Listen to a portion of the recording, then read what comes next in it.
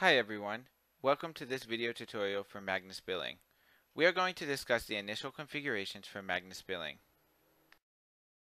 You can see this is the general layout. To begin we're going to go to the Configurations menu under the Configurations tab. You can now see all the customizable parameters that you will need to set up. The first value we're going to change is system currency.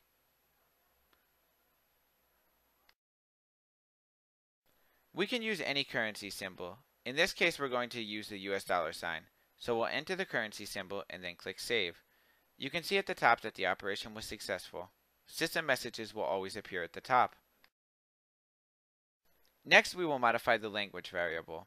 The current languages available are English, Spanish, and Portuguese. In this example, we're going to change the language to Spanish. You will need to use the symbols defined here, so Spanish will be ES. Once you enter the value, click Save.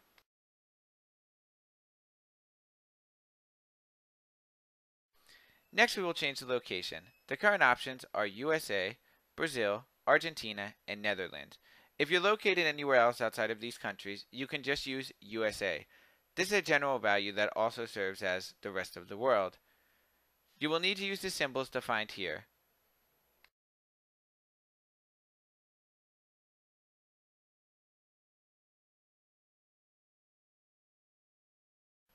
The other important options you will need to modify are the STMP, SMTP related settings. Once you change all of these SMTP values to match what your provider gives you, you should also change the admin email.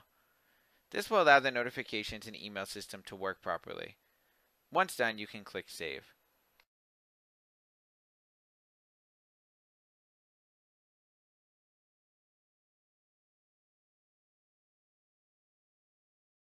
In the full version of Magnus Billing, not in the free version, you can customize the logo. To do this, you will click the menu at the top right corner and then click Import Logo. Once you click Import Logo, you will be able to select a logo on your local computer in PNG format. Once you upload the logo and click Save, you will then need to clear your cache and refresh the browser window. This will then begin to display the new logo in the top left corner.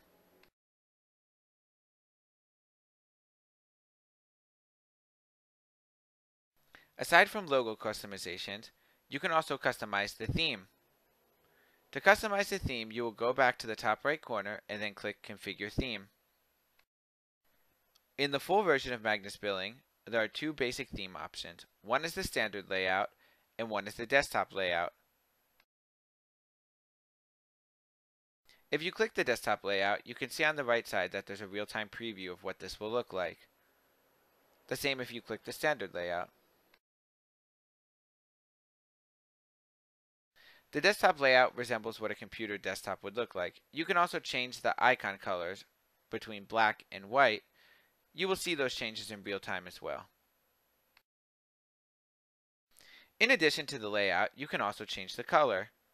You can see that there are multiple color options, and for each color, there's three additional options. These are shades. You can click the colors to see the changes in real time. If you look to the right, you will see that as I click the different colors, the display is updated with a real-time simulation of what it will look like.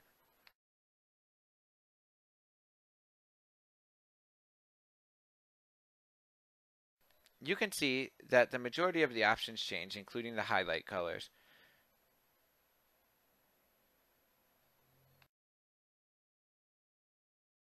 In this case, I will pick orange, and then I will click apply and click yes. Now that the skin has changed, the window will automatically refresh and reload with the new color skin. You can see that the new colors have been applied. Now if I go back to the theme options and then I click on the desktop layout and click apply and then I click yes, it will load the desktop layout. My screen will automatically refresh and when it comes back up I will now have the desktop layout on my screen. You can see that it has a functional start menu and all of the icons are laid out in a traditional desktop setup. The background image can be modified to any image of your liking. That will conclude our initial configurations video for Magnus Billing. This video has been sponsored by Synapse Global, www.synapseglobal.com.